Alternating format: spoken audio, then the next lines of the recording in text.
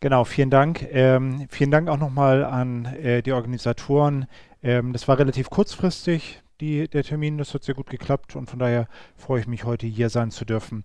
Äh, mein Name ist Ebert Wolf. Ich bin Fellow. Das bedeutet, ich mache solche Samvia, Vorträge, Trainings, Consulting primär bei der Firma InnoQ. Wir sind so 120 Leute über Deutschland und die Schweiz verteilt. Primär machen wir Softwareprojekte. Äh, das heißt, ich bin da so ein bisschen eine Ausnahme. Äh, da ist auch mein Twitter-Account und äh, meine Homepage, falls das jemand interessiert. Ich habe ein paar Bücher geschrieben. Ich habe ein Buch geschrieben über Continuous Delivery. Das gibt es auch auf Englisch an der Stelle. Ich habe ein Buch geschrieben über Microservices. Auch das gibt es auf Englisch. Das ist so, so ein Architekturbuch. Was sind Microservices? Wie funktioniert die Architektur? Welche organisatorischen Auswirkungen hat das? Und ich habe das irgendwie in so eine Broschüre nochmal versucht, so zusammenzufassen. Warum sollte ich Microservices machen? Warum ist das interessant? Und das ist äh, kostenlos, dieses Buch. Und ähm, weil ich gedacht habe, dass es irgendwie schlau ist, neben dieser Architekturperspektive auch nochmal was zu den Technologien zu sagen. Deswegen habe ich jetzt das Microservices Praxisbuch äh, geschrieben. Und auch da gibt es so, so eine Kurzfassung, die man sich irgendwie kostenlos runterladen kann, wen das interessiert. Heute wollen wir reden oder will ich reden über Microservices, Events, Atom, Kafka, diese ganzen Geschichten. Ähm, wenn irgendwie Zwischenfragen sind, gerne Zwischenfragen stellen. Das freut mich immer. Und anfangen will ich eigentlich mit der Frage, was sind Microservices? Ähm, das ist irgendwie eine Geschichte, die vielleicht auf den ersten Blick ein bisschen langweilig wirkt, aber das Problem bei der Sache ist, es ist halt irgendwie nicht sauber definiert. Und wir, also ich, primär ein paar Kollegen von, von InnoQ, haben uns irgendwann mal überlegt, dass das eigentlich doof ist und dass man dem mal so, dass man das mal aufräumen sollte. Und dabei sind diese Independent Systems Architecture Ideen entstanden und das kann man so, so ein bisschen sich vorstellen wie so Best Practices für Microservices an der Stelle. Das sind derer neun und ähm, das erste Prinzip ist, dass Microservices Module sind. Okay. Ähm, der Grund, warum ich glaube, dass das eigentlich ein ganz, gute, ganz guter Ansatz ist, ist, weil das zum einen bedeutet, wir können ganz viel erben. Also wenn ich mich jetzt hinstelle und sage, Microservices sind Module, dann läuft hoffentlich irgendwie so, so, sofort so ein Film ab mit, ah, das bedeutet, wir müssen zum Beispiel lose Kopplung haben und High Cohesion und Single Responsibility Principle und so weiter. Das ist, glaube ich, der eine Punkt, weswegen das halt irgendwie ganz spannend ist dann bedeutet das, dass wir eine Entscheidung treffen für ein System. Wir sagen, dieses System modularisieren wir mit Hilfe von Microservices. Das ist also der Scope. Es ist nicht so ein Enterprise-Ding, wo wir irgendwie sagen, dass wir die gesamte Firma irgendwie äh, ummodeln und wir formulieren auch sehr klar, was die Alternativen sind. Wir können diese Module, also wenn ich mich irgendwie hinstelle und mache so eine PowerPoint-Architektur mit Boxen und Pfeilen, kann ich halt diese Boxen ausführen als Microservices oder als irgendwas anderes. Das bedeutet, meine Modularisierung wird nicht besser dadurch, dass ich jetzt Microservices benutze, sie wird nur anders. Die Boxen und die Pfeile ändern sich ja nicht, sie sind nur anders ausgeführt. Gut, äh, Module sind so ein alter Begriff, das heißt, das wäre jetzt irgendwie unspannend, wenn man nur sagen würde, es sind Module. Äh, das Besondere an Microservices ist, dass es Container sind oder Serverless oder sowas, Dinger, die ich halt unabhängig voneinander installieren kann, betreiben kann, hoch und runter fahren kann. Solche Geschichten kann ich da halt machen. So, und das bedeutet, dass es eben eine andere Art ist, wie wir Module technisch ausführen. Und daraus ergibt sich das Thema mit der Mikro- und der Makroarchitektur. Wenn wir ein normales System bauen, also ein Deployment-Monolithen, kein Microservices-System, dann haben wir eine, ganze Menge an Architekturentscheidungen. Wir müssen uns zum Beispiel unterhalten über Programmiersprache, Bibliotheken, die wir benutzen, wo darauf läuft das Betriebssystem so ein Zeug. Das müssen wir bei Microservices nicht zwangsläufig. Wir können diese Entscheidung delegieren und können sagen, schreib halt den Microservice in irgendeiner Programmiersprache, mir egal. Das heißt, viel mehr Entscheidungen können wir jetzt auf Ebene der, der einzelnen Module treffen. Und deswegen brauchen wir zwei Ebenen. Wir brauchen die Entscheidungen, die global sind. Makroarchitekturentscheidung und wir brauchen irgendwie diese Mikroarchitekturentscheidung und sowas wie eine Programmiersprache oder ein Framework. Das ist etwas, was eine Makro- oder eine Mikroarchitekturentscheidung sein kann. Und die spannenden Sachen sind eigentlich die Makroarchitekturentscheidungen, die übergreifenden Entscheidungen, denn die sind schwerer zu revidieren. Die Mikroarchitekturentscheidung kann ich trivialerweise in jedem Microservice irgendwie anders treffen. So, und deswegen müssen wir jetzt im Rahmen von eben einer Microservices-Architektur klären, wie wir diese Dinge integrieren also UI, synchron, asynchron, wie wir kommunizieren, also per REST oder per Messaging oder so etwas. Und da findet sich dieser Talk irgendwie auch wieder. Dieser Talk sagt halt, wir reden über asynchrone Integration und zwar eben mit REST, Atom und Kafka an der Stelle, also mit zwei unterschiedlichen Kommunikationsmechanismen. Was noch? Unabhängige Continuous Delivery Pipelines. Warum ist das wichtig? Durch das unabhängige Deployment haben wir einen erheblichen Vorteil. Wir können Feature bauen, wir können es in Produktion geben und die anderen Microservices sind davon nicht betroffen. Das können wir aber torpedieren. Also wir können jetzt irgendwie ohne weiteres sagen, es gibt eine Staging-Umgebung, da deployt man irgendwie drauf und da muss irgendwie alles erstmal zusammen laufen und dann bringen wir das irgendwie mal quartalsmäßig in Produktion. Oder wir haben eine gemeinsame Integrationstestumgebung, auf der wir halt äh, gemeinsam arbeiten. So, und das ist etwas, wo wir die Möglichkeit, unabhängig voneinander zu deployen, die uns Microservices eigentlich bieten, ein wesentlicher Vorteil, eben nicht ausnutzen. Und deswegen brauchen wir unabhängige Continuous Delivery Pipelines, weil wir sonst uns zwar hinstellen und sagen, hey, wir haben es modularisiert mit viel, viel Aufwand, aber wir kriegen die Benefits halt nicht. Wir sollten den Betrieb standardisieren, weil sonst der Aufwand zu sehr steigt. Die Standards, die wir definieren, sollten nur auf der Schnittstelle sein. Wir sollten uns nicht hinstellen und sagen, benutzt bitte dieses Locking Framework. Wir sollten sagen, erzeuge eine Log-Ausgabe, die folgendermaßen aussieht. Wir sollten nicht sagen, benutze diese REST-Library, sondern wir sollten sagen, erzeuge REST-Nachrichten, die folgendermaßen aussehen oder konsumiere die. Warum? Weil wir sonst die Technologiefreiheit torpedieren. Technologiefreiheit ist ein wesentlicher Vorteil von Microservices, mindestens für langlaufende Systeme. Selbst wenn wir uns heute hinstellen und sagen, wir arbeiten mit, weiß ich nicht, Java 9 und Spring Boot 2, können wir uns sicher sein, dass das in ein paar Jahren veraltet ist. Wenn wir dann nicht damit leben können, dass wir unterschiedliche Technologien benutzen, müssten wir das gesamte System entweder sich veralten lassen oder Big Bang Migration machen. Das halte ich für unrealistisch. Die Technologiefreiheit ist ein wesentlicher Punkt, weswegen wir Microservices-Systeme hoffentlich längerfristig weiterentwickeln können. Du hast eine Frage. Wie passt das dann in den Talk? Du hast ja gesagt, Atom und Kafka, aber mit Kafka gibt es ja schon eine Technologieentscheidung vor. Warum genau. Also die Frage ist halt, warum äh, Kafka, warum nicht irgendwie was anderes, JMS oder AMQP? Ähm, naja, also das ist ja genau das, wo ich sage, wir brauchen eine globale Entscheidung. Wir müssen halt global sagen, wie reden unsere Systeme miteinander. Und der Grund, warum ich glaube, dass wir das machen müssen, ist, weil wenn wir das nicht tun, dann fällt es mir schwer, von einem Gesamtsystem zu reden. Dann haben wir Module, die irgendwie miteinander reden, aber wir haben keine gemeinsame Kommunikationsbasis, auf der die reden. Und ich habe kein Problem damit, wenn das halt irgendwie Kafka ist weil ich Kafka eben auch von verschiedenen Systemen oder verschiedenen äh, Programmiersprachen und Systemen aus ansprechen kann. Das wäre bei JMS oder äh, AMQP halt analog, das wären halt Alternativen. Nicht? Ich bin, sage nur, wir müssen es halt irgendwie mal festklopfen, müssen halt sagen, wir haben so etwas. Und diese Entscheidung ist eben auch eine Entscheidung, die wir schwieriger ändern können. Also da können wir eben nicht sagen, wir machen es morgen anders, weil dann müssen wir halt alle Systeme umändern.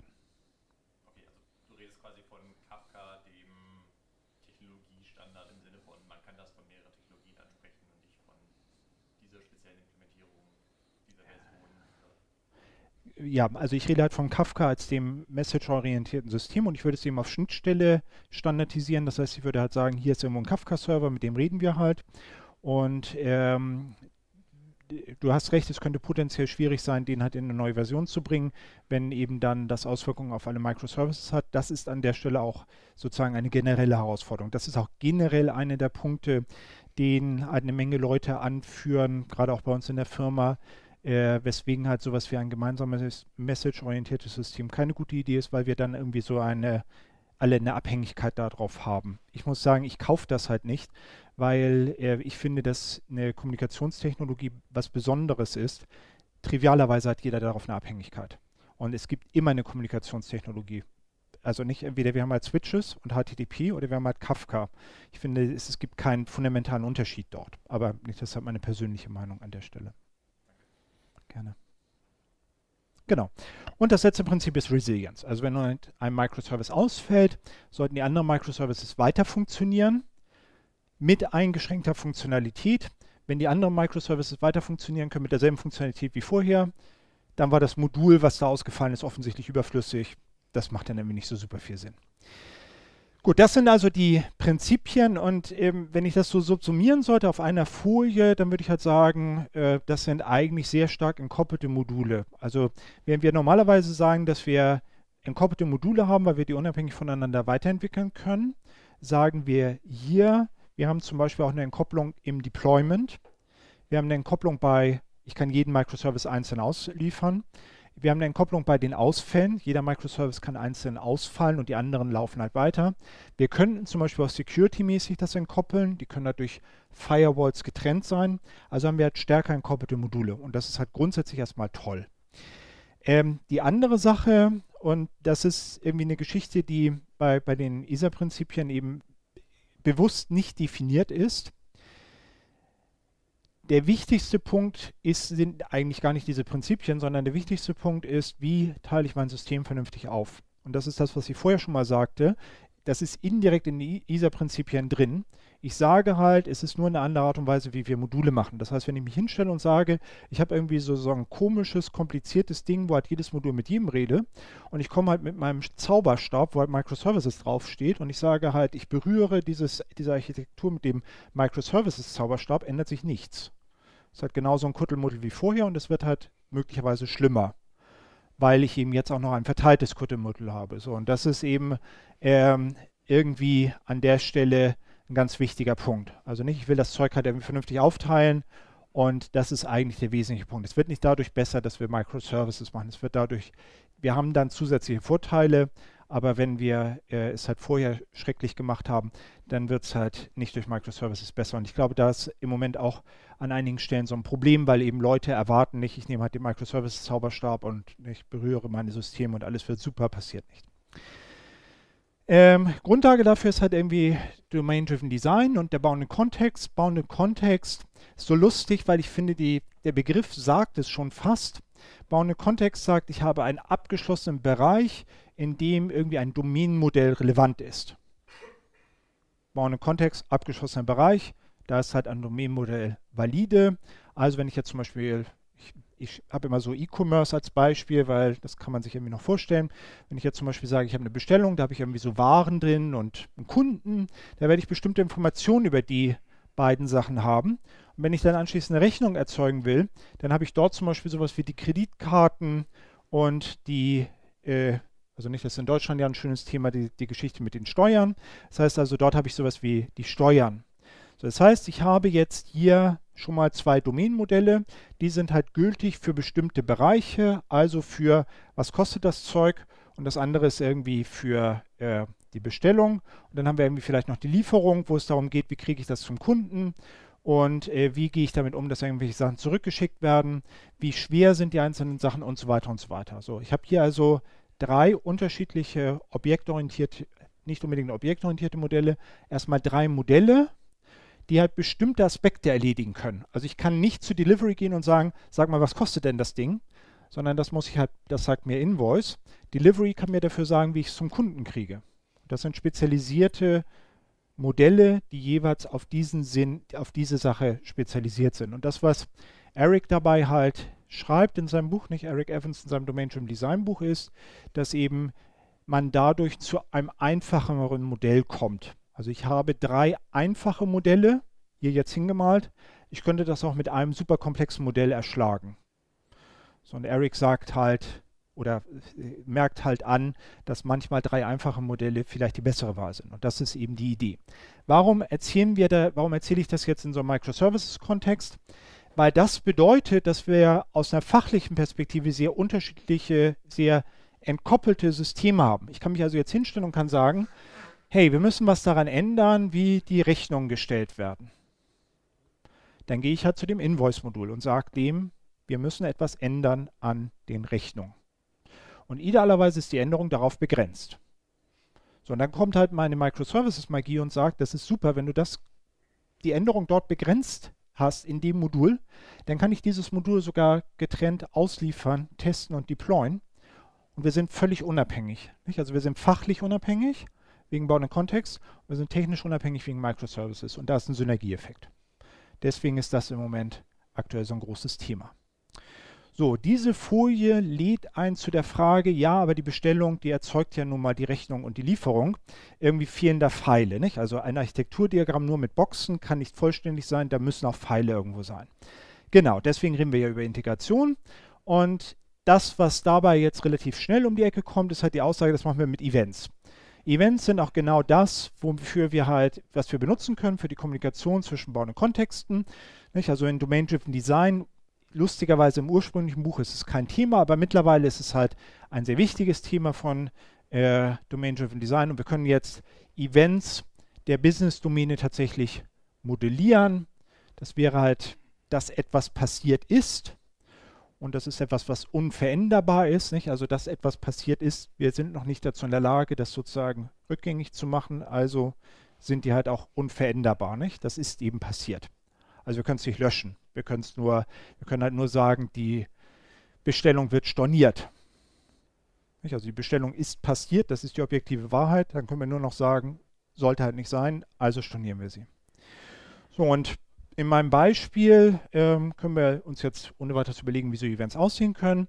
Und wenn ich jetzt eine Werbeveranstaltung machen würde, würde ich sagen, der Vorteil von Events ist, dass wir durch Events sehr leicht erweiterbare Systeme haben. Das heißt, ich kann mich hinstellen und kann sagen, eine Bestellung ist aufgenommen worden und dann kann ich halt dafür eine Rechnung schreiben, ich kann die Lieferung anstoßen und ich kann beliebige andere Dinge tun. Und das ist der Grund, warum Events so toll sind. Ich habe flexibel erweiterbare Systeme. Das ist genau das, was uns eben dort in so einer Werbeveranstaltung anschauend äh, andauernd diskutiert wird.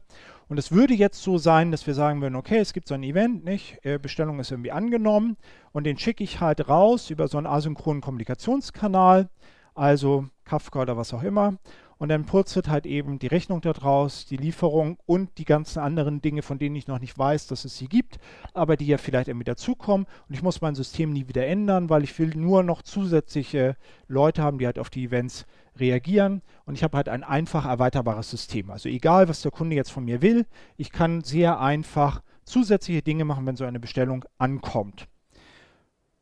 Und das halte ich für naiv, diese Annahme. Denn die Frage ist, was ist jetzt eigentlich in diesem Event drin? Also wir haben jetzt so eine Bestellung, die ist irgendwie äh, rausgegangen. Und wir brauchen die Preise von dem Zeug. Wir müssen wissen, wo wir die Rechnung hinschreiben wollen. Wir müssen wissen, wie groß diese Dinger sind und was die wiegen und wo sie hin sollen. Und da sieht man halt schon, nicht? Irgendwelches Zeug ist halt relevant dafür, dass wir eine Rechnung schreiben. Irgendwelches Zeug ist dafür relevant, dass wir anschließend das Zeug ausliefern können. Ja, und dann gibt es irgendwie die Sachen, von denen wir noch nicht wissen, dass wir sie brauchen, äh, die halt für irgendwelche Dinge da sind. So, das heißt also, es ist schon mal mitnichten so, dass wir jetzt schon sagen können, was diese zusätzlichen Systeme an Informationen benötigen. Vielleicht haben wir Glück. Nicht? Also ein Bonussystem könnte da könnten wir Glück haben und das könnte halt sein, dass ein Bonussystem sagen würde, naja, ich will eigentlich wissen, wie viel Geld der ausgegeben hat. Aber vielleicht will der besondere zusätzliche Dinge haben. Vielleicht will er halt wissen, welche Warenkategorien bestellt worden sind, weil es dafür halt be bestimmte Boni gibt. Dann müssten wir das wohl erweitern. So, und das, dieses Modell hat halt noch andere Probleme, weil wir haben halt erstmal eine ganze Menge an Daten und das ist halt grundsätzlich doof. Also die Anzahl an Fällen, wo ich halt irgendwo hingehe und mir halt ein System angucke und halt irgendwie von der Komplexität der Daten erschlagen werde, das ist halt eine relativ große Anzahl. Das heißt, im wirklichen Leben wäre es halt nicht so ein Spielbeispiel, sondern der Event könnte halt eben tatsächlich sehr kompliziert werden. Und das andere Problem ist, ich weiß halt auch nicht mehr so genau, wer eigentlich was benutzt. Hier ist es offensichtlich, nicht? Also ich habe Rechnung und Lieferung, aber in einem wirklichen Datenmodell kann es halt dieses komische Feld geben, was da hinten ist und was wir schon seit zehn Jahren haben, von dem wir halt nicht wissen, was da eigentlich passiert und niemand wagt sich da halt ran. Das ist genauso ein Problem, was wir hier halt hätten. Irgendwann wächst uns dieses Datenmodell halt über dem Kopf und wir wissen nicht mehr, was da drin ist. Und wenn wir etwas ändern, dann kann das potenziell eben alle Module erwischen. Also insbesondere, wenn wir was wegwerfen. Wenn wir was ergänzen, das ist vielleicht nicht so schlimm, aber wenn wir etwas wegwerfen oder die, äh, die Inhalte dort ändern, dann können eben lustige, vielfarbige Effekte an bestimmten Mo Modulen entstehen, die ja diese Events ähm, sozusagen nutzen. So ein Domain-Driven Design, das ursprüngliche Buch, hat da so ein schönes äh, Pattern. Die sprechen, also Eric spricht dort von der Published Language. Er sagt also, wir stellen uns hin und sagen, es gibt eine veröffentlichte Sprache, Das ist ja das, was Publish Language heißt. Und da steht drin, was in unserem Beispiel so eine Bestellung ist. So, wenn wir jetzt ein Projekt machen würden, würde ich also sagen, hier, guck mal, das ist das Order-Modell. Das könnt ihr alle benutzen. Nicht? Das hängen wir uns irgendwo hin. Und äh, ihr dürft halt alle lustig Abhängigkeiten da reinbauen. Das ist ja eine veröffentlichte Sprache. Was ja schon zu so einem Problem führt, weil ich sage jetzt ja, es gibt das Bestellungsmodell. Und ich habe eigentlich gesagt, dass das so mit Bounded Kontext vielleicht gar nicht so sinnvoll ist. Also eigentlich will ich das ja irgendwie vielleicht aufteilen. Ähm, und nicht, also wenn ich jetzt irgendwie sage, ich habe das Bestellungsmodell, dann, also das ist ein gültiges Domain-Driven Design Pattern, aber es ist irgendwie schon etwas, wo es zu, nicht, so, äh, nicht so einfach ist, zu sehen, wie das halt mit Bounded Kontext zusammen funktioniert. Das wäre also das Modell, was ich jetzt wählen müsste, um mein System so zu bauen, dass jeder diese Events konsumieren kann und dass ich halt das Event habe. Und das Problem dabei ist, dass wir uns im Prinzip wieder ein zentrales Datenmodell bauen, von dem ich ja vorher gesagt habe, dass das eigentlich eine blöde Idee ist. Aber das machen wir jetzt eben eigentlich wieder, nur eben als Events. Was wäre eine Alternative? Naja, wir können halt sagen, wir machen es anders. Wir sagen halt, es gibt hier das Ding für Invoice da stehen eben die Sachen drin für, Item, für die Preise und die, die Rechnungsadresse. Wir haben irgendwas für Delivery und wir haben halt irgendetwas für das, was wir noch nicht kennen. Das heißt, wir haben spezialisierte Events. Und die können wir unabhängig voneinander weiterentwickeln. Und wir wissen jetzt auch, wer was benutzt. Wer benutzt denn den Invoice Order Accepted Event? Invoice. Wer benutzt die nicht? Ist offensichtlich. Ähm, neue Sachen, also das Bonusprogramm beispielsweise, das könnte halt sein, dass das einen neuen Event braucht. Das ist dann halt irgendwie so. Und das ist das, was ähm, so Customer Supplier ist.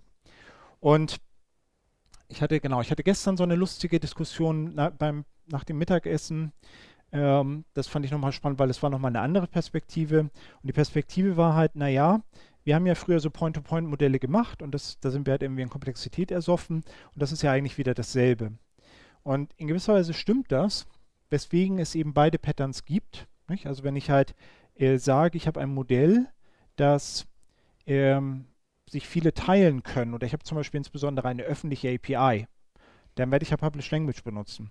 In diesem Beispiel würde ich sagen, die Informationen, die Invoice und Delivery benötigt, sind fast disjunkt. Da gibt es fast keine Überlappung. Also ist das hier vielleicht der richtige Weg. Nicht? Also es ist, hängt wieder von Fall zu Fall ab. Und der Vorteil, den ich hier insbesondere habe, ist ein organisatorischer Vorteil. Wenn ich sage, ich habe Delivery, Invoice und Order und ich habe dort drei Teams, dann wird diese Schnittstellenabsprache, die ich hier habe auf dieser Folie, immer nur zwischen zwei Teams stattfinden. Delivery und Order, Invoice und Order.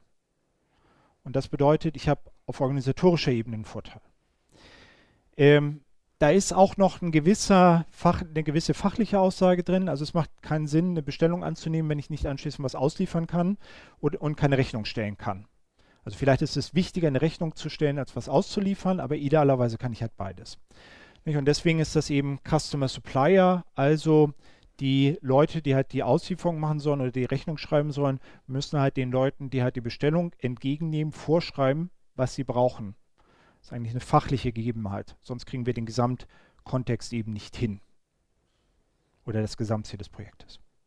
So, und die dritte Möglichkeit wäre, dass ich sage, okay, ich habe halt den Event, da steht nur noch eine ID drin. Und dann habe ich halt weitere APIs, mit der ich halt weitere Informationen bekommen kann. Das heißt, ähm, diese Informationen, die ich halt benötige für die Rechnung, die kriege ich halt über irgendeine API. Die Informationen, die ich benötige für die Lieferung, kriege ich über irgendeine API. Und da habe ich so einen Kompromiss. Also dieses Ding kann nun wirklich jeder akzeptieren, auch mein Bonusprogramm. Ich musste dann halt eine zusätzliche API bauen für mein Bonusprogramm. Das ist so vielleicht ein Trade-off. So, damit sind wir jetzt eigentlich bei der Zusammenfassung in Bezug auf Events im Allgemeinen. Ich glaube, der wesentliche, die wesentliche Frage ist, was schreibe ich in diese Events rein? Welche Informationen? Und die Erweiterbarkeit, die ich halt in so einem Event-Werbeblock typischerweise sehe, ist eben nicht so einfach, äh, weil ich am Ende vielleicht andere Informationen benötige und dann muss ich irgendetwas mit den Events machen. Es wäre meiner Ansicht nach eher Zufall, wenn jetzt jemand um die Ecke kommt und sagt, hey, äh, genau die Daten, die du hast, die will ich auch haben. Das ist genau das, was ich für meinen Fall brauche. Und selbst wenn dann kann es halt sein, dass wir halt später feststellen, nee, das ist was anderes. Und dann haben wir irgendwie plötzlich eine Beziehung zu dem, weil wir halt dieselben Daten benutzen wie R. Ist halt auch doof. Wahrscheinlich brauchen wir nicht alle Daten, sondern nicht, ich brauche irgendwie Subsets. Und ähm, also wenn ich so Vorträge halte oder halt irgendetwas erzähle, dann versuche ich üblicherweise irgendwie zu sagen, äh, das ist das, was ihr wahrscheinlich typischerweise tut. Also wahrscheinlich wollt ihr typischerweise generische Events bauen, wo alle Daten drin sind. Und dann versuche ich irgendwie zu sagen, versucht doch mal was anderes. Also versucht mal was anderes, versucht halt spezialisierte Events oder nur IDs zu übertragen, weil das hat eben auch Vorteile. Nicht? Also die generischen sind halt auch nicht schlecht, aber probiert doch mal das andere. Genau, Frage.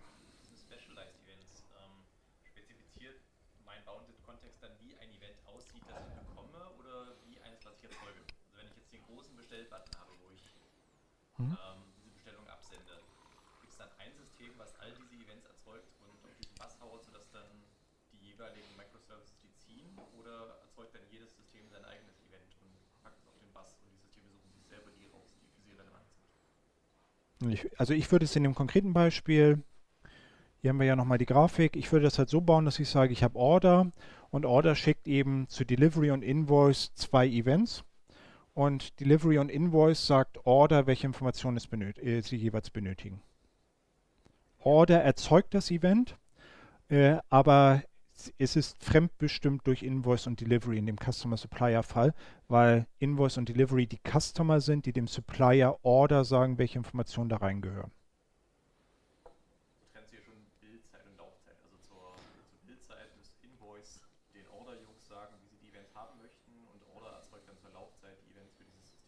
Genau. Genau. Da ist halt auch noch ein wichtiger Punkt, nicht? Also sowas wie Customer Supplier sagt etwas darüber, wer das Modell baut und wer das Modell konsumiert. Das ist nicht etwas unbedingt etwas über die, die äh, darüber, wie der, der Aufruf funktioniert. Und bei Customer Suppliers ist es eben so, dass wäre es jetzt so, dass Order das Modell baut, die sitzen vor dem Rechner und Invoice sagt, den macht bitte folgendes. Das ist eigentlich die Idee. So, und wie das dann aufgerufen wird, das ist irgendwie eine getrennte Frage. Gut, das habe ich irgendwie erzählt. Was ist da noch? Ich glaube, dass äh, Events tatsächlich irgendwie eine schicke Sache sind, um zwischen und Kontexten zu reden. Ähm, und deswegen wollte ich eben auch diese, also deswegen finde ich halt auch diese, diese Präsentation irgendwie, oder habe ich die halt irgendwie gemacht, weil ich glaube, das ist eigentlich ein Kernthema. Und so aus einer Domain-Perspektive ist das eben auch etwas, was sozusagen sich so richtig anfühlt. Nicht? Domain, äh, Events sind halt in Domain Design mittlerweile sehr präsent. Es gibt eventgetriebene Möglichkeiten, äh, Domain zu analysieren, sowas wie Eventstorming und ähm, diese Geschichten. So, und das allererste, was dann typischerweise irgendwie passiert, wenn man sagt, naja, mach das doch so, ist irgendwie die Aussage, naja, aber du replizierst ja Daten. Und wenn ich Daten repliziere, dann habe ich irgendwie Inkonsistenzen. Und wenn ich Inkonsistenzen habe, dann ist irgendwie auch das Ende nahe. Und äh, das ist halt irgendwie eine total bescheuerte Sache. Sowas wollen wir nicht. Wir wollen halt irgendwie, wenn wir eine Adresse ändern, dass sie halt irgendwie einmal geändert wird und damit hat sich das halt. Okay, also nicht, ist ja nachvollziehbar. Ähm, eine Sache, die dann bei mir irgendwie abläuft, ist, ähm, okay, ihr redet halt mit mir, ihr wollt was über Microservices hören. Microservices sind voraussichtlich nicht die Lösung für die Konsistenzprobleme, die ihr wahrscheinlich eh schon habt. Also die meisten Systeme haben halt eh schon dort Herausforderungen. Aber ähm, es ist ja trotzdem irgendwie die Frage, über was für Inkonsistenzen reden wir denn nun eigentlich? Wir haben ein System für Rechnung, wir haben ein System für die Lieferung, wir haben ein System für Bestellung. Das heißt, für jede dieser Informationen kann ich sagen, dieses System weiß das. Ich gehe also jetzt hin und sage, was kostet denn das? Und wo ist die Rechnung? Dann sehe, gehe ich halt zu dem Invoicing-System und das sagt hier. Wenn ich wissen will, wo ist halt die Bestellung, dann sage ich halt Bestellungssystem. So, das heißt also, es gibt nicht so etwas wie, ja, das ist eine Bestellung oder vielleicht auch nicht, ich habe keine Ahnung. Oder nicht, das ist eine Rechnung oder nicht. Das ist nicht die Art von Inkonsistenz, über die wir hier reden. Und das ist wichtig, weil nicht, also Inkonsistenz ist, glaube ich, tatsächlich ein, ein äh, angstbesetzter Begriff. Und so etwas würde ich auch nicht wollen. Nicht? Also ein System, wo ich irgendwie hingehe und sage, jetzt ist die Rechnung da, jetzt ist sie weg, jetzt ist sie wieder da. Nicht, das will ich halt nicht. Aber das ist nicht die Art von Inkonsistenz, über die wir reden. Die Art von Inkonsistenz, über die wir reden, ist, Es gibt möglicherweise eine Lieferung ohne Rechnung. Die Bestellung schickt dem Liefersystem eine Bestellung und das Liefersystem sagt, alles klar, ich schick's raus. So, und das Rechnungssystem sagt, ich kann es nicht bearbeiten, es dauert länger, wie auch immer. Und ich kann eben das Umgekehrte ha äh, haben. Ich kann eben auch eine Rechnung haben ohne Lieferung. Und ähm, irgendwann, nicht am Ende, wird es halt gelöst sein, weil eben die Nachricht dann auch übertragen sein wird. Und ich würde halt behaupten, solche Verzögerungen sind halt nichts, was man nicht schon mal gehört hat. Also die wahrscheinlich nicht, also dass ich jetzt irgendwie sofort, wenn ich die Bestellung abschicke, äh, die Lieferung losgeht und die Rechnung gedruckt wird, da ist irgendwie Zeit dazwischen. Und die Frage ist ja auch, was ist die Alternative? Also wollen wir wieder zentralisierte, komplexe Datenbanken haben? Also ein Teil von mir sagt, ja, super, will ich auf jeden Fall, weil dann kann ich halt sehr viel Beratung und Programmierleistung in diesen Kunden hineinverkaufen. Aber nicht, das macht halt nur begrenzt viel Spaß an der Stelle. Und äh, die meisten Datenbanken, die man da halt irgendwie findet, sind halt so, äh, dass man damit eigentlich nicht arbeiten will. Das heißt, die entscheidende Frage ist hier eigentlich die Frage, äh, was ist denn nun die Konsequenz, wenn es eine Zehntelsekunde, eine Sekunde, eine Minute oder eine Stunde oder einen Tag dauert, bis die Daten da sind. Also bis die Lieferung rausgeht und die Rechnung da ist. Ähm, und diese Frage würde ich halt stellen, weil, äh, und zwar würde ich die so stellen, nicht? Also was passiert, äh, wenn eben die, die, äh, lief, wenn die Rechnung halt einige Zeit dauert oder was weiß ich. So und ähm, meine naive Annahme wäre, dass halt das Unternehmen nicht pleite geht, wenn es halt eine Stunde dauert. So eine Stunde sollte ich, selbst wenn halt mein äh, Messaging-System irgendwie mal abstürzt oder irgendwie ganz schlimme Dinge passieren, das sollte ich eigentlich hinbekommen. So, und wenn mein Gegenüber sagt, die Rechnung muss innerhalb von weniger als einer Minute da sein, dann würde ich erstmal versuchen, das zu verstehen. Nicht? Also das ist irgendwie eine Geschichte. Mein Gegenüber ist ja ein fachlicher Experte, das heißt, der weiß hoffentlich, wovon er redet. Und dann würde ich halt versuchen, das zu verstehen. Und im Notfall kann ich ja so etwas machen. Ich könnte halt äh, sagen, dass ich diese bauenden Kontexte in äh, getrennten Datenbank-Schemata in einer gemeinsamen Datenbank aufbaue und eben kein Messaging dazwischen mache, sondern tatsächlich eine Transaktion, die dann eben in dem einen Schema die Bestellung anlegt, in dem anderen Schema die Rechnung und in dem dritten Schema äh, dann irgendwie die Lieferung anstößt dann hätte ich allerdings kein Microservices-System, dann habe ich die anderen Vorteile nicht. Das hat weitreichende Konsequenzen. Und aus dem Grund würde ich halt gerne versuchen zu verstehen, warum ich denn diese krassen Konsistenzanforderungen habe. Und die Arbeitshypothese, die da irgendwie durchleuchtet ist, äh, ich brauche es halt wahrscheinlich nicht. Gut, das ist also so dieses Thema rund um Events und wie ich damit irgendwie umgehen soll. Und wenn wir halt über Microservices und Events sprechen, ist halt das Thema Event Sourcing nicht fern. Was bedeutet das? Ähm, das ist auch wieder so ein Ding, was halt nicht wirklich definiert ist. Also ich habe mich damit beschäftigt, nachdem wir halt intern eine lustige Diskussion haben, wo der eine irgendwie gesagt hat, das ist doch klar, das bedeutet X. Und ich habe mir irgendwie gedacht, nee, also das ist nicht mein Verständnis. Und dann liest man halt nach und stellt fest, es gibt unterschiedliche Definitionen. Das ist das, was, ich glaube, das habe ich von dem Martin Fauler geklaut. Ähm, das ist das, was äh, letztendlich so mir am angenehmsten erscheint als Definition für Event Sourcing ich speichere die Events, die zu einem bestimmten Zustand geführt haben und vielleicht auch den Zustand. Also so ein prototypisches Beispiel wäre, äh, wenn ich ein Konto habe, kann ich das Konto durch alle Kontobewegungen berechnen. Und ich könnte auch noch den Zustand dazu berechnen, äh, den Zustand dazu speichern. Das ist in dem Fall vielleicht schlau. Ich habe jetzt vor kurzem ein anderes System, er hat ein Kollege ein anderes System sich angeguckt, da ging es letztendlich um Bestellungen. Bei Bestellungen kann man, da sind halt eine Handvoll Dinge, die passieren. Nicht? Bestellung kommt rein, Bestellung wird genehmigt und so, das sind irgendwie fünf, sechs Events. Kann man irgendwie tatsächlich den Zustand dieses, dieser Bestellung berechnen. Braucht nur die Events. Eins der beiden Systeme ist das, was sozusagen die Wahrheit enthält. Entweder ich habe die Events oder den Zustand. Ähm, wenn ich die Events als Wahrheit habe, muss ich den Zustand daraus sozusagen berechnen und habe dann den, den richtigen Zustand. Wenn ich den Zustand habe, kann ich aus den, mit, zusammen mit den Events zum Beispiel zurückgehen in der Zeit und halt herausfinden, wie der Zustand davor war. Es gibt keine, keine klare Definition und hier ist eben genau der Link auf Martin Faulers Ding. Und das bedeutet jetzt für mein System, dass hier von draußen irgendetwas reinkommt. Nicht unbedingt Events. Es können synchrone Aufrufe sein, deswegen steht da Calls. Das kommt also hier rein und hier ist meine Schnittstelle und hier habe ich einen Event Store und hier speichere ich irgendwas rein. Ich habe die Bestellung 42 akzeptiert. Ich habe irgendwie einen Zustand, da steht drin Bestellung 42. steht irgendwie das Zeug. Dann kommt halt das Ding, dann habe ich halt hier irgendwie auch den Zustand wieder, dann kommt irgendwie das Ding und schmeiße ich das weg, weil der Bestellung halt gerade gecancelt worden ist. Und äh, wenn ich hier dann die Bestellung 23 ausgeliefert habe, vermerke ich das halt entsprechend. Das ist im Wesentlichen die Idee. Was hier, also warum habe ich jetzt diese Folie gezeigt?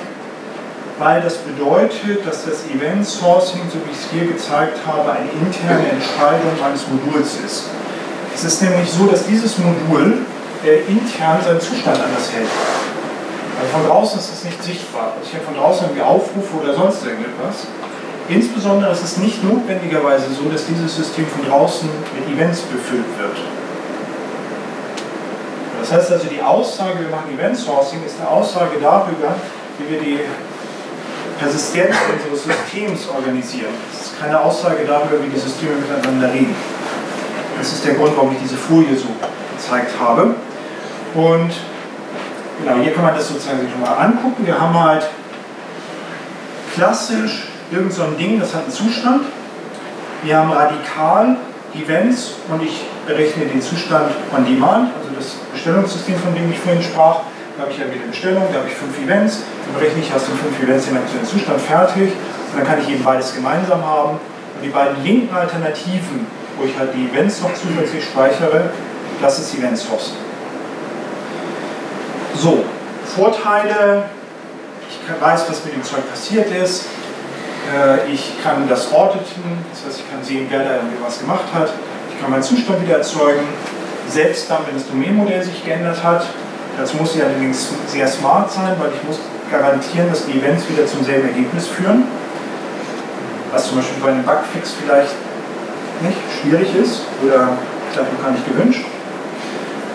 Und ich kann irgendwie sagen, wie war denn das war die Event gestern? Ich kann es mal abspielen vom Anfang oder von einem Snapshot und ich kann Sachen zurücknehmen und äh, ich kann auch zum Beispiel Zustand replizieren, weil ich eben einem anderen System diese Events auch gebe und der dann halt das denselben Zustand macht, vielleicht zum Beispiel für ein Lead-Modell. Ähm, die Events sind ja global, also liegt hier auch einiges was. Ähm, ist der State dann zwangsläufig auch ein globaler oder hat jedes System seinen eigenen State? Das ist also nicht. Vielen Dank für die Frage, weil das ist genau der Punkt, den ich hier versucht hatte zu, zu machen. Da oben sind die globalen Events. Die haben mit dem, also genau, ich, ich sehe da jetzt die Frage, die ist jetzt glaube ich ganz gut hingekommen. Also die Frage war, ob ähm, diese Events nicht äh, global auf dem Message-Bus sind und wie sich das dann mit dem Zustand verhält. Das ist genau das, was ich versuchte hier zu sagen. Ich muss vielleicht die Folie nochmal überarbeiten. Der globale Event wäre der ganz oben, da wo Kreuz oder Messages steht. Das wäre mein globaler Event. Da steht also, ein Order ist eingegangen, was auch immer. Das hier ist mein lokales Ding, was ich bei mir in der Datenbank habe. Das sind zwei unterschiedliche Dinge. Und das ist ein wesentlicher Punkt. Das bedeutet nämlich, dass das, womit wir kommunizieren, getrennt ist von dem, was ich hier abspeichere. Und warum ist das so? Weil das eben meine interne Persistenz ist, an der die anderen nichts zu suchen haben. Und wenn ich da einfach die globalen Events benutze, dann würde ich mich eben zu sehr, dann würde ich mich in der internen Zustandsmodellierung an das binden, was wir global vereinbart haben. Und das ist, glaube ich, schwierig und deswegen würde ich das so aufteilen. Also diese Events, die ich hier habe, die würde ich bei mir in einer Datenbanktabelle speichern müssen nicht unbedingt identisch sein mit dem, was von draußen auf mich reinwirkt. Das können andere Sachen sein. Das sollten auch andere Sachen sein, weil ich eben meine interne, mein internes Modell entkoppeln will von dem externen. Und das ist genau der Punkt, den ich hier versucht habe zu machen, also indirekt. Diese globalen Events helfen mir für Event Sourcing eigentlich nur begrenzt. Also ich würde sagen, es ist nahezu naiv, wenn man sich hinstellt und sagt, wir haben hier diese globalen Events und wir haben irgendwie so einen coolen Event-Store, sowas wie ein Kafka, und dann können wir ja unseren Zustand rekonstruieren. Naja, wir haben es gerade diskutiert, welche Daten sind da drin, das ist eine schwierige Frage. Kann ich wirklich die ganz alten Events irgendwie nochmal prozessieren? Ähm, und das, ich würde das eben nicht abhängig machen von einer globalen Datenstruktur, die ich halt mit anderen Leuten share. Deswegen würde ich das eben hier lokal selber nochmal Events machen. Das ist genau der Punkt. Nicht? Also Event Sourcing ist eigentlich ein Persistenzding. Also der Punkt ist, dass eigentlich Event Sourcing ist eine Mikroarchitekturentscheidung statt einer Makroarchitekturentscheidung, richtig? Das ist der. Genau, das ist, also die Aussage war gerade, das ist halt eine Mikroarchitekturentscheidung und keine Makroarchitekturentscheidung. Ich kann es pro Microservice entscheiden, eben nicht global, genau. Das ist super, das passt eben genau da rein. Das ist eben etwas, was ich intern bei mir entscheiden kann, abhängig davon, was ich eigentlich erreichen will. Aber es hindert mich nicht daran, ja die also den Entscheidung Makro für zum Beispiel Kafka von mir zu benutzen, indem ich in meinem Microservice den Kafka verwende, aber komplett eigene Topics schreibe. Und mir mein Microservice Event State zum Beispiel in einem eigenen Kafka-Topic halte, das nichts mit den Topics zu tun hat, die ich außen verwende. Also die, die Idee, die du jetzt sagst, ist, dass ich halt den Event Store in Kafka und meinen privaten Event Store in einem Kafka. Das kannst du im Prinzip tun. Ich weiß nicht, ob ich das tun würde. Also ich bin da vielleicht auch klassisch aufgestellt. Ich hätte halt gedacht, ich nehme einfach den Daten. Also mir fällt jetzt irgendwie nicht ein, warum man das nicht tun wollen würde. Und Kafka ist ja auch irgendwie so ein bisschen ein Crossover zwischen einer Datenbank und einem, und einem, einem Messaging-System. Ich glaube, das Verwirrende in der Folie vorher war vielleicht, dass das unten steht, wie sich das so angefühlt hat, also der hinten rauspulst wieder aus dem Microservice. Aber du schreibst nur die klassische Event-Source-Architektur, wo du halt Event-Stores und State hast. Genau. Gut. Hier ist auch nochmal dieses Thema weiter diskutiert. Also externe Systeme können eben andere Daten haben und sich anders verhalten während eines Replays.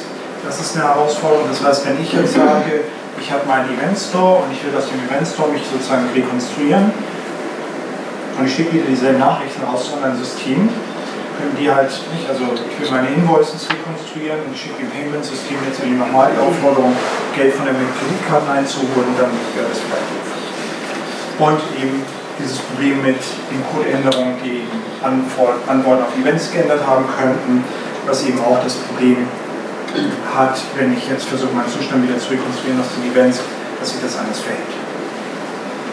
Event Sourcing ist also für mich ein Pattern für Persistenz also eben eine Mikroarchitekturentscheidung, die wir gerade diskutiert haben. Und das ist eben eine, eine, ein Thema für die Microservice, das sich ändern kann, das in jedem Microservice anders sein kann.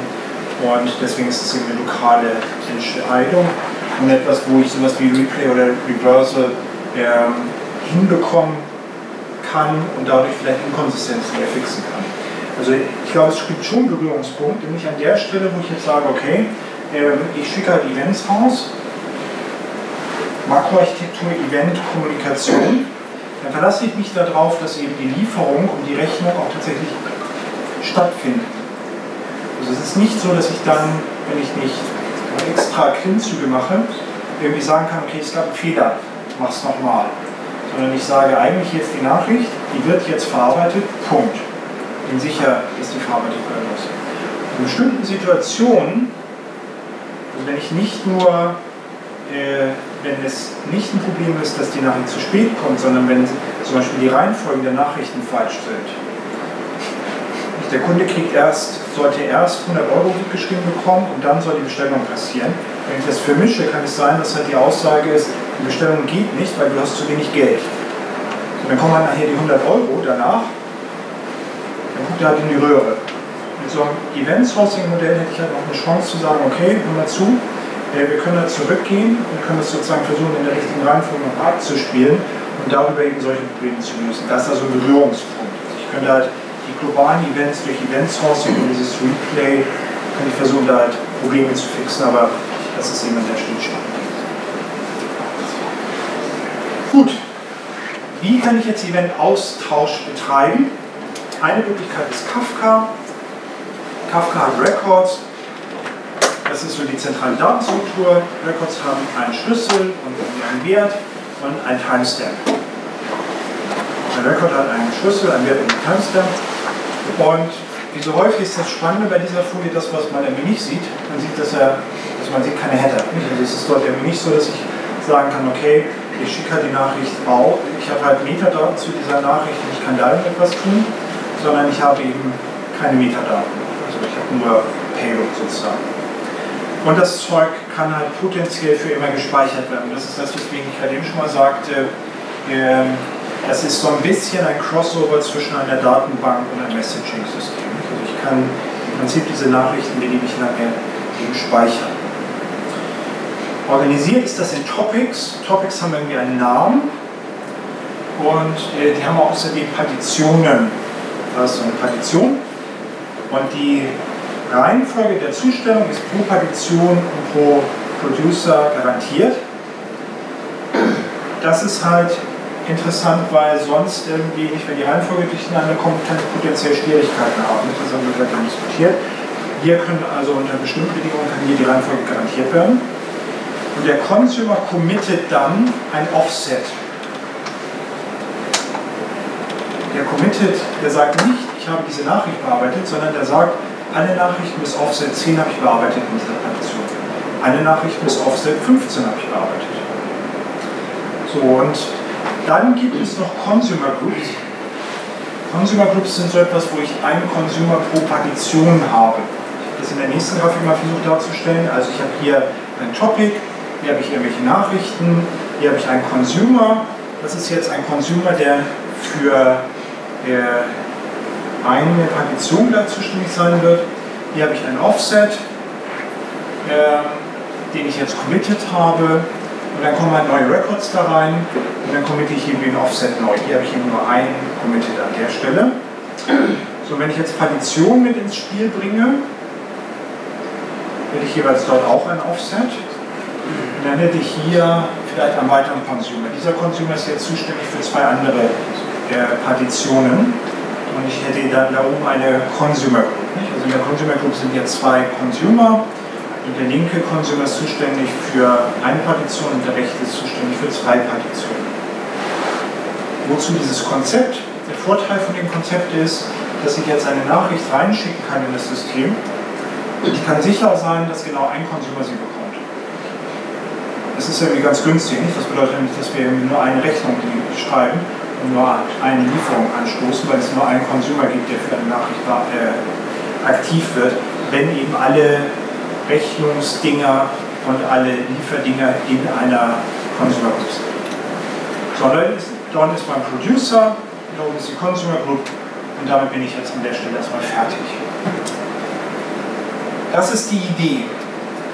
Diese Sache hat schon mal ein paar Vorteile. Also ich kann jetzt die Partition über mehrere Rechner verteilen. Also ich habe eine horizontal skalierbare message-orientierte Middleware, was sonst ein bisschen schwierig ist. Und ich kann das Zeug auch replizieren, also ich kann eben n Replikas von jeder Partition haben. Und ich kann auch sagen, dass es bestimmte In-Sync-Replikas gibt, also Replikas, bei denen ich halt sage, wenn ich eine Nachricht erfolgreich geschrieben habe, ist sie halt in allen In-Sync-Replikas drin. Das bedeutet, ich kann das System so betreiben, dass auch an der Stelle, wo ich einen von den Servern kaputt mache, das System weiter funktioniert. Also ich muss nicht so ein super tolles äh, Ding aufbauen mit irgendwie einem großen Server, der sehr skalierbar ist, sondern ich kann es eben tatsächlich horizontal skalieren und ich kann es auch horizontal ausversichert bekommen, so wie NoSQL-Datenbanken beispielsweise. Ich habe ein Beispiel gebaut und das Beispiel, wenig überraschend, ist eben eine Bestellung, dass hier eben eine Rechnung und eine Lieferung wird. Und äh, das gibt es auch auf äh, GitHub. Das ist das Beispiel, was ich, äh, was ich für meine, für das Praxisbuch und letztendlich auch für das Rezeptebuch geschrieben habe. Und äh, da kann man das mal ausprobieren. Da gibt es jetzt verschiedene Container. Das ist ein Docker-Beispiel. Das heißt, ich habe ein Ding, Order ganz links, was halt die Nachrichten losschickt, die Records. Dann habe ich Shipping und Invoicing, der die Nachrichten entgegennehmen. Ich habe eine Datenbank, aber getrennte Datenbankschemata für die ganzen Services. Ich hatte halt keine Lust, jetzt jeden Service mit einer Datenbank zu versehen, das wäre ein bisschen kompliziert. Und ich habe eine Kafka-Instanz, einen Zookeeper daneben. Zookeeper ist so ein System, um verteilte äh, Informationen zu speichern. Ich speichere zum Beispiel die Offsets an der Stelle. Und damit ich nicht irgendwie drei Services exponieren muss, habe ich dafür so eine Idee, der mir halt Zugriff auf alle diese Services bietet an der Stelle. Und jetzt Ganze ist nicht so sonderlich spektakulär. Ich habe das irgendwie hochgefahren. Ähm, genau hier. Ähm, ich kann das auch nochmal noch zeigen. Das ist hier das Beispiel. Und da gibt es halt einen Docker Compose. Und äh, wenn man sehen will, wie das funktioniert, gibt es hier ein README. Da gibt es auch ein deutsches Beispiel mit dem sehr schönen Namen, also ein deutsches README mit dem sehr schönen Namen Blog. Und da steht halt irgendwie drin, wie man das halt irgendwie starten muss. Am Ende ist es halt so, dass man eigentlich äh, nur das System einmal durchkompilieren muss und dann eben mit Docker Compose starten muss. So, hier sind die Logs. Ich habe zwei Instanzen, ich kann das mal kurz zeigen. Ich habe jetzt im Moment den Kafka Order, Shipping habe ich zweimal. Hier ist Shipping 1 und Shipping 2. Invoicing, das Wurstmeister Kafka Image und das dazu passende Zookeeper Image und ein Postgres.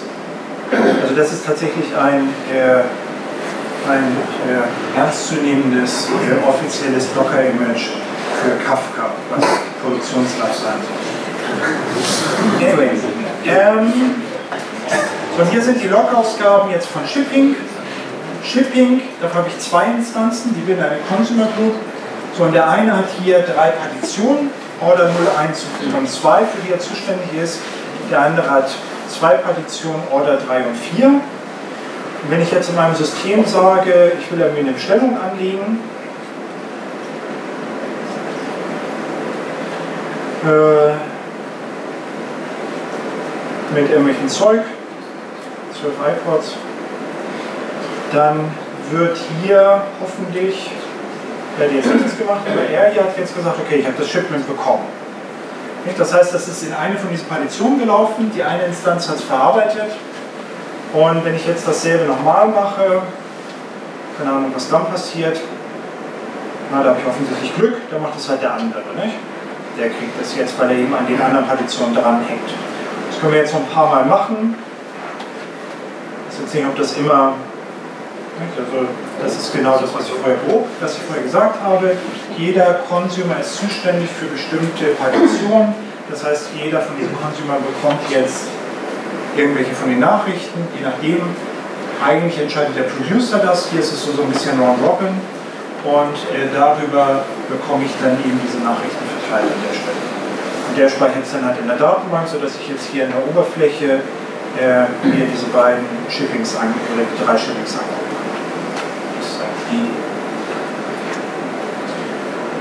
Äh, viel mehr, ich weiß nicht, was, wir noch, was ich noch zeigen könnte, wäre vielleicht äh, Docker Dash Compose, D, Scale,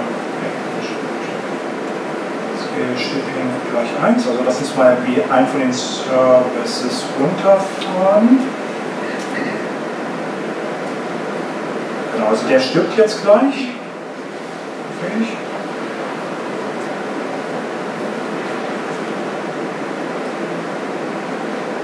Genau, der ist jetzt irgendwie weg.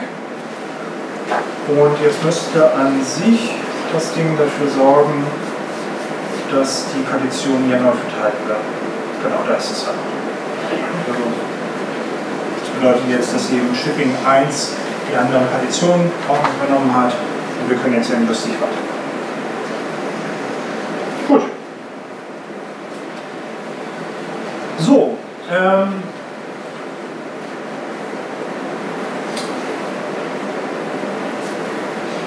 Die Events, die ich hier jetzt habe, haben alle Informationen sowohl für Rechnung als auch Lieferung. Also das ist so eine Published Language. Ich könnte spezifische Events haben, dann hätte ich mehr Unabhängigkeit oder eben nur die Events und dann irgendwelche Services, um mehr Nachrichten zu bekommen. Das ist das, was ich am Anfang diskutiert hatte. Und ähm, die Daten werden jetzt in die Rechnung und in die Lieferung hineinkopiert und dabei denormalisiert. Das heißt, jede Rechnung und jede Lieferung hat den Kunden und die Wareninformation zu dem Zeitpunkt, als das Ding gekauft worden ist. Das ist genau eine Idee vom Modern Kontext und das bedeutet, ich habe keine Historisierung. Also es ist jetzt so, dass mein Invoicing-System sagt, ich habe eine Kopie mit den Informationen der, der über die Waren, als sie bestellt worden sind, insbesondere mit dem Preis und all dem anderen Zeug. Und das ändert sich nie wieder, weil das schreibe ich halt in den Daten und da bleibt es. Wenn ich das anders gemacht hätte, könnte ich halt nicht, also wenn ich sagen würde, ich baue das große universelle Datenmodell für meine Waren, wäre das jetzt die Stelle, wo ich sagen müsste, hey, Waren können unterschiedliche Preise haben. Je nach Zeitpunkt, je nach Rabattierung und was weiß ich. Das habe ich hier eliminiert. Das ist genau so ein Beispiel, wo man halt sieht, dass so ein einfaches, spezialisiertes Bauen-Kontext-Ding und da vielleicht helfen kann. Und ich finde das halt auch angenehm, weil es verhindert halt, dass irgendwie hier nachher nochmal jemand kommt, außer er geht jetzt direkt auf die Postgres-Datenbank und sagt, ändere mal kurz die Rechnung. Das kann halt eigentlich nicht mehr passieren. So, und damit haben wir jetzt sozusagen die Zusammenfassung. Also ich komme ja an die alten Events ran. Ähm, da bin ich mir, das haben wir vorhin diskutiert, nicht sicher, ob das halt wirklich so vorteilhaft ist für äh, Event Sourcing, weil es eben eine öffentliche Schnittstelle ist und ich vielleicht irgendwie meine internen Events lieber haben möchte für, diese, äh, für den Wiederaufbau meiner, meines Zustands. Ich habe diese garantierte Reihenfolge pro Partition. Ähm, und was ich, genau, ich kann, das habe ich jetzt nicht gezeigt, ich kann auch die Daten nochmal komprimieren. Ich kann sagen, wenn ich mehrere Datensätze habe mit demselben Key, lösche ich alle bis auf den letzten. Vielleicht interessiere ich mich nicht für alle Umzüge, die ich jemals gemacht habe mit dem Kunden. Vielleicht interessiert mich nur der letzte. Dann kann ich eben mit dem mit Log Compaction dafür sorgen, dass eben alle Umzüge bis auf den letzten verschwinden. Und ich habe mit Consumer Groups die Möglichkeit, eine Nachricht an einen Consumer zu schicken. Das Problem, und das hatten wir vorhin, das war ja schon eine von den Fragen, Ansatz, in Ansätzen diskutiert, wir haben eben eine zusätzliche Infrastruktur, von der halt auch alle abhängen. Ähm, ob sie komplex ist, weiß ich nicht so genau. Ich habe es vorhin ja schon mal gesagt, das Ding ist ja produktionsbar skalierbar. Äh, es ist ausversichert und ich habe noch ein paar andere nette äh, Nebeneffekte. Ähm, zum Beispiel, wenn jetzt ganz viele Nachrichten kommen, das System wird nicht saturiert. Das sorgt halt einfach so dazu, dafür, dass die Nachrichten dann halt auf der Festplatte sind. Und ähm, dann explodiert da nichts, sondern nicht, also die Empfänger können so langsam sein, wie sie wollen können halt auch Wochen später die Nachrichten noch lesen, weil die ja de facto persistent sind. Das ist in anderen Messaging-Systemen oft nicht so. Und dann habe ich halt irgendwie ein Problem. Dann habe ich nämlich das Problem, dass mir die Queues volllaufen, kann ich aber keine Nachrichten mehr schicken und dann habe ich halt ein echtes Problem. Die andere Seite, die halt irgendwie ganz angenehm ist, ist, äh, im Wesentlichen ist so eine Partition eine Datei, wo ich halt im Wesentlichen hinten Records ranhänge. Das ist keine super aufwendige Operation im Gegensatz zu echten Messaging-Systemen mit Two-Face-Commit und so ein Zeug. Also da haben wir hier eine ganz andere Komplexitätsklasse viel einfacher. Dennoch wäre es ja vielleicht wünschenswert, wenn wir was anderes hätten, was noch einfacher wäre. Und da kann man zum Beispiel tatsächlich REST benutzen.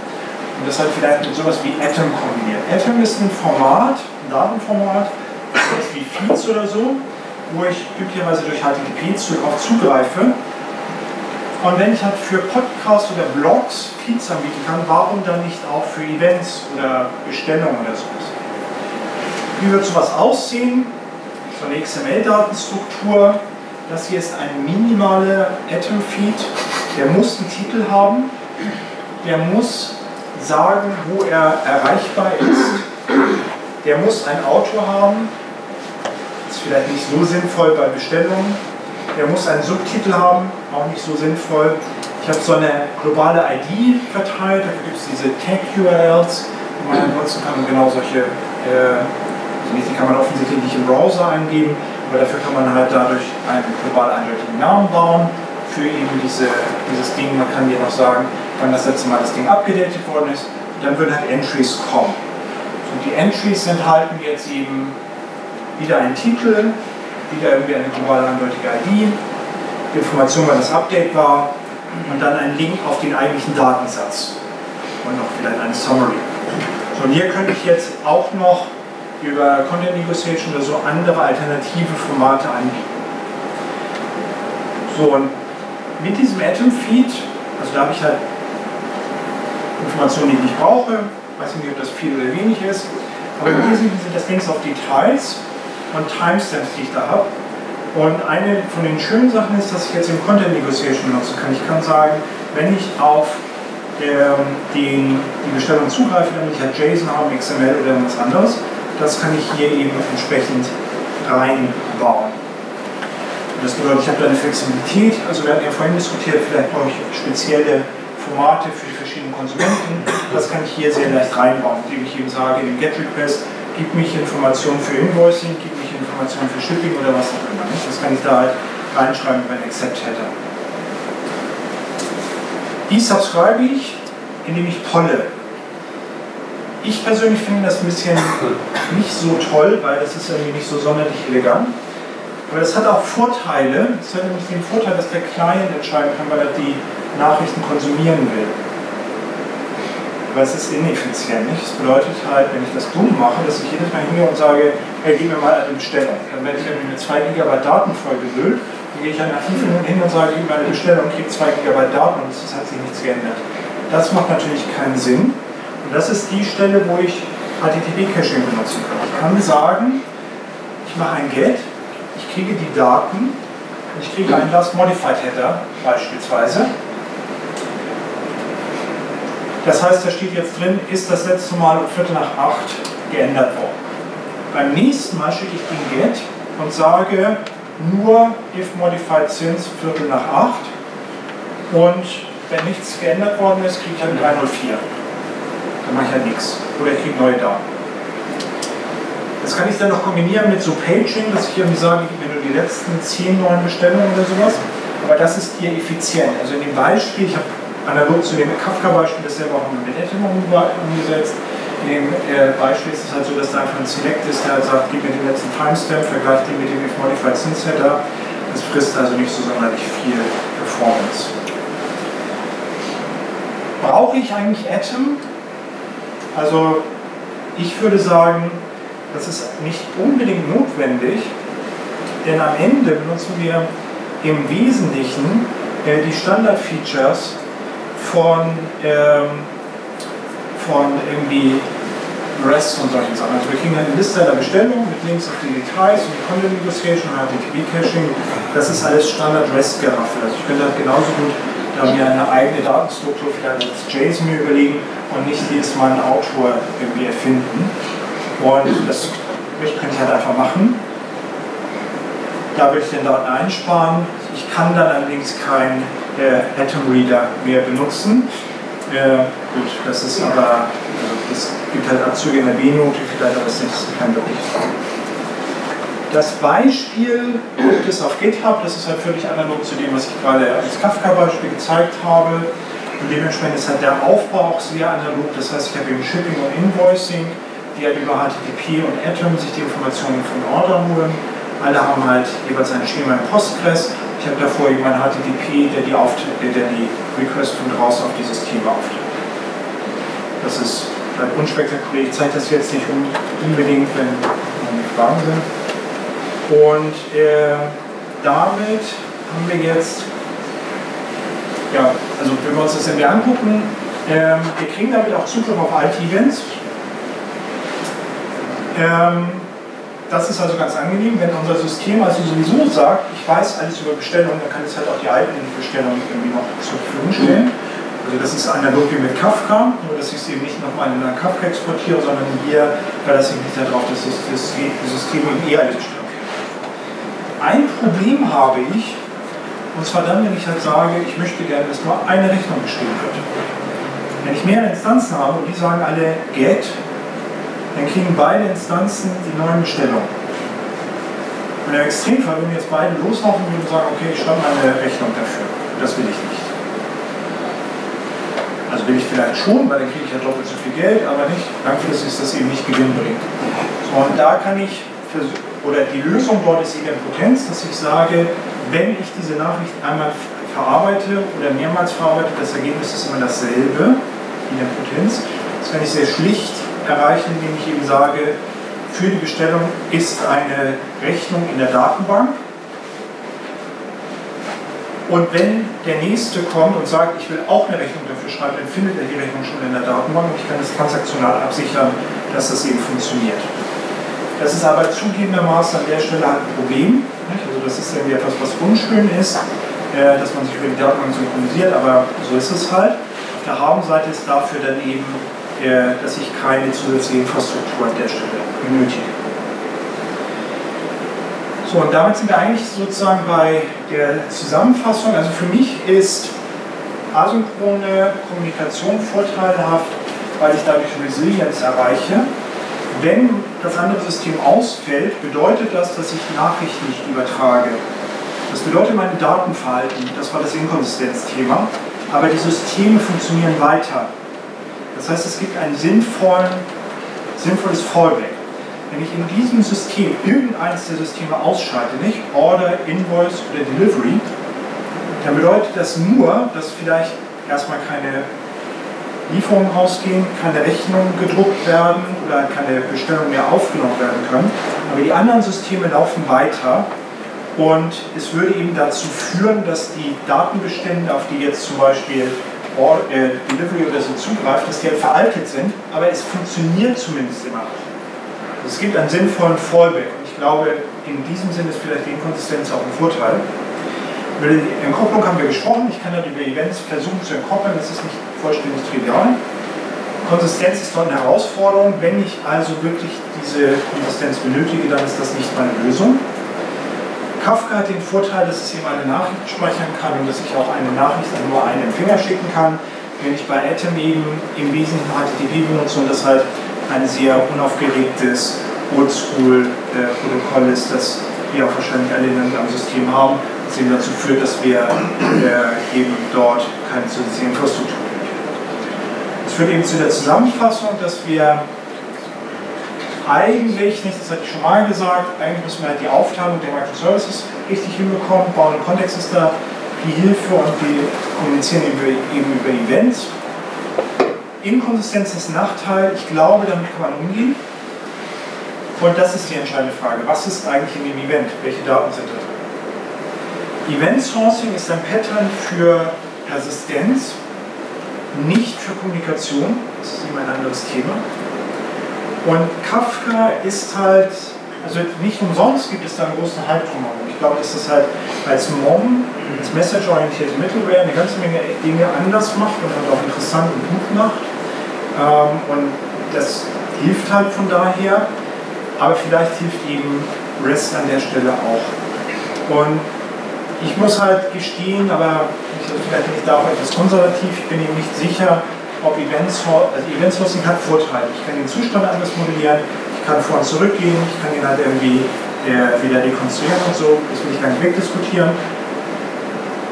Aber ich kann halt, also ich kann mir durchaus vorstellen, Microservices-System zu bauen und Event Sourcing. Ich finde das nicht zwingend. Es hat Vor- und Nachteile, aber es hat eben auch technologische Komplexität. Ich muss es nicht unbedingt so bauen. Wen das interessiert, äh, hier ist eine E-Mail-Adresse. Wer da eine E-Mail hinschickt, bekommt einen Link zurück auf eine Dropbox mit all meinen kostenlosen Büchern und den Beispielkapiteln aus den äh, kommerziellen Büchern und auch die Folien zu dem Vortrag. Und dahinter steckt irgendwie so ein kleines, hübsches äh, Amazon Lambda-Skript äh, und damit eben auch Microservices an der Stelle. Das heißt, ich lese die äh, nicht, äh, sondern da gibt es automatisch eine, eine Antwort an der Stelle. Ähm, also weitere Informationen, das bedeutet auch, dass in einem Logfile bei Amazon die E-Mail-Adresse landet. Ich glaube, die Retention, glaube ich, irgendwie auf 14 Tage eingestellt oder so. Und wenn jemand Unsinn macht, also wenn jemand die E-Mail-Adresse nicht richtig schreibt, kommt tatsächlich bei mir die E-Mail an. Das ist also das, was mit den Daten dort an der Stelle passiert. Fragen?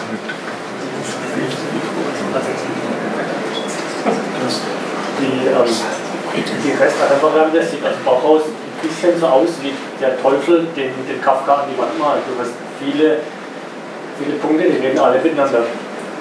Ist es so oder ist das Verständnis falsch? In, inwiefern ist die Rest-Atomverande überhaupt synchron? Mal ganz platt gefragt. Also du hast Services, die, der eine macht einen Restcode zum anderen, klickt links und fragt immer synchron an. Also ist es noch asynchron oder nicht? Oder Genau, also okay, deine Frage ist, ob die, Restkommunikation synchron oder asynchron ist. Also sie ist in, meinem, meiner Ansicht nach Und das ist tatsächlich eine gute Frage und das ist vielleicht auch etwas, was er an der Stelle ein bisschen verwirrt ist. Also ist REST synchron oder asynchron? Die erste Antwort wäre, REST ist natürlich synchron, ich schicke halt ein Get raus und bekomme eine Response. So, und er ist mit Post dasselbe. Das ist also in dem Sinne synchron.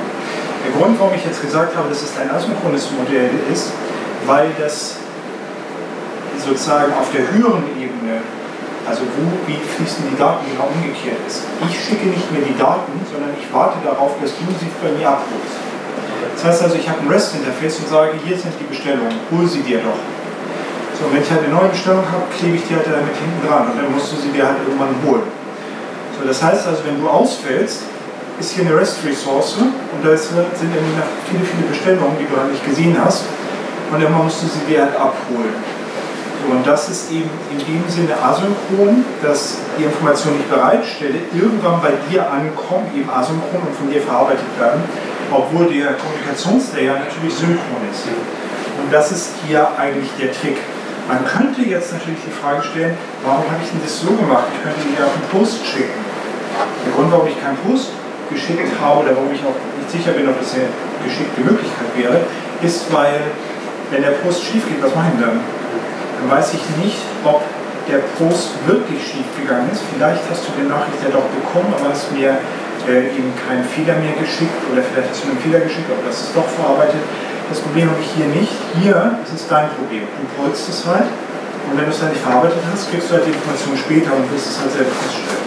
Das ist der Grund, warum ich das so bauen würde und deswegen ich es nicht posten würde und deswegen ich auch sagen würde, es ist wirklich asynchron. Und bei Post habe ich noch andere Probleme. Ich müsste zum Beispiel nochmal versuchen, es dir zu schicken. Und das will ich ja auch nicht. Also das wieder kompliziert und schwierig, muss ich mit der Reach-File-Logik machen. Das muss ich jetzt nicht.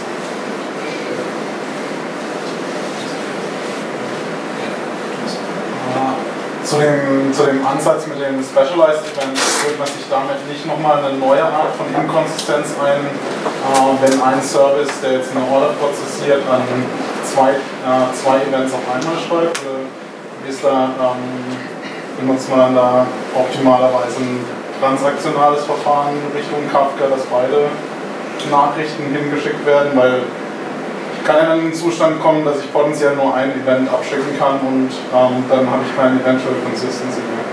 Genau, also die Frage ist, ja, was ist denn eigentlich, wenn, äh, wenn ich halt zwei Events losschicke, wenn ich dann nicht Inkonsistenzen habe, weil ich halt den einen Event dann losschicke und den anderen nicht.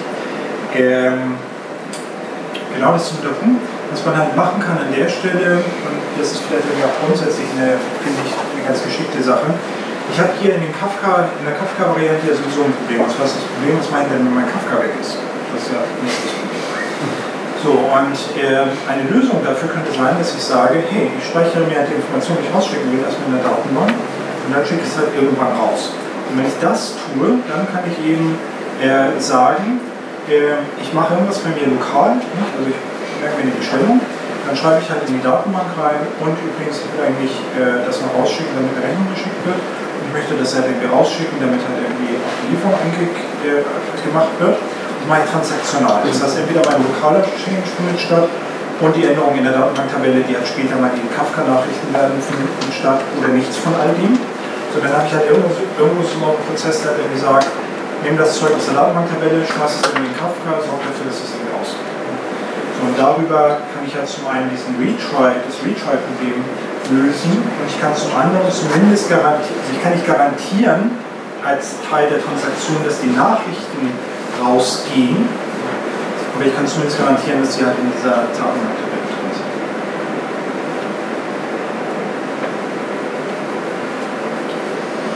Ja.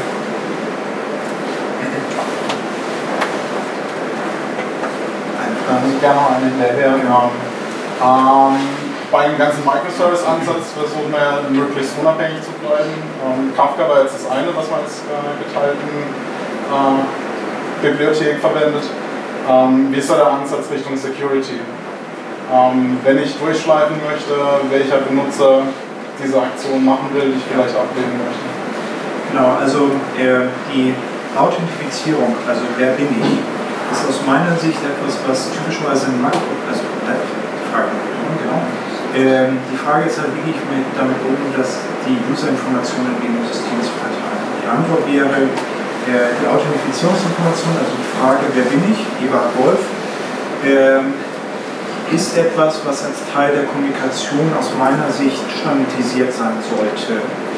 Ähm, das heißt, ich würde typischerweise halt sagen, es gibt einen Token, nicht? JWT-Token, Token, äh, da steht irgendwas drin, also der Name, da gibt es eine Signatur, sodass ich weiß, dass das irgendwie auch nicht äh, sich irgendjemand ausgedacht hat, sondern dass sich da wirklich jemand als Wolf identifiziert hat und sowas wie Rechte. Und jedes der Systeme oder Rollen, jedes der Systeme sollte dazu in der Lage sein, diesen Token aufzulösen. Die Autorisierung, also was darf der da machen, das ist eine Frage von den einzelnen Systemen. Authentifizierung ist für mich ein Teil von dem Kommunikations- und Integrationsthema.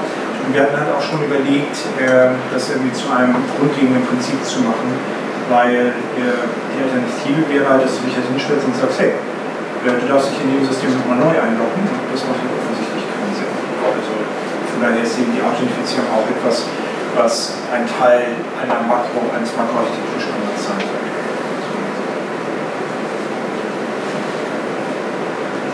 Jetzt dann keine weiteren Fragen gibt. Vielen Dank für den tollen Vortrag, dass du da warst. Und äh, ich habe gerade auf Twitter gesehen, da gehen schon die ersten Würstchenfotos rum draußen auf dem Grillgarten. dann kann man vielleicht, wenn noch eine Frage ist, die dann bei den Würstchen klären. Ansonsten ähm, nächste Woche ist auch Java User Group, allerdings ist da die Warteliste auch schon ordentlich voll. Da kommt Jochen Mader mit äh, verteilte Probleme sind die schönsten Probleme. Und